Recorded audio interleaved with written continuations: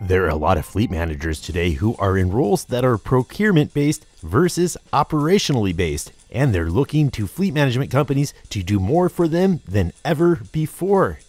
I think there's been a lot of changes since I first came into the industry.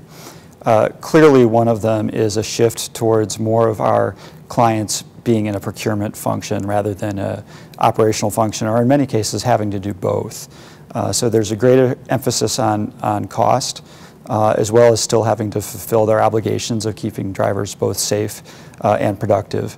Uh, but there's clearly greater emphasis on cost than there was when I first came into the industry. At the same time, because people are wearing more hats than they were before, they're required to be more efficient. So in many cases, uh, fleet departments don't have the same types of resources that they used to have, and they're asking their fleet management companies to take on more and more of the transactional uh, pieces of their business.